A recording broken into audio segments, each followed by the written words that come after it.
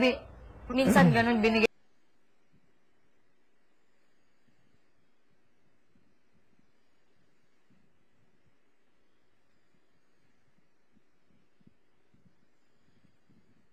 ko na lahat, tapos may sumunod pa, dinuraan pa.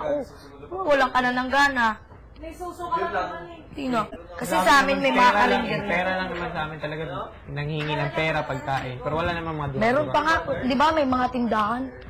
Nangunguha pa sila ng pagkain doon. Siguro, kapit na sa patalim, gutom na sila. Wala. Siyempre, ikaw yung, ikaw yung meron. Siyempre, ikaw yung meron. Siyempre, magbibigay ka kahit pa paano.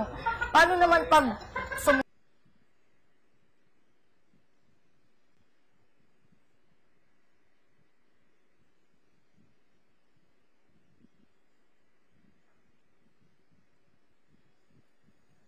Oh, sobra na, di ba? Hindi na maganda yung Parang ina yung baboy.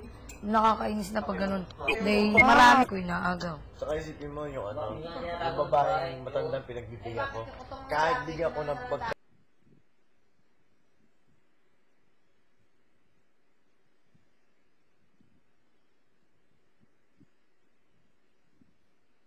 pagkain, tuwan-tuwa na siya. Alam mo yung gano'n, na makikita mo, Na-appreciate. na, ma-appreciate niya.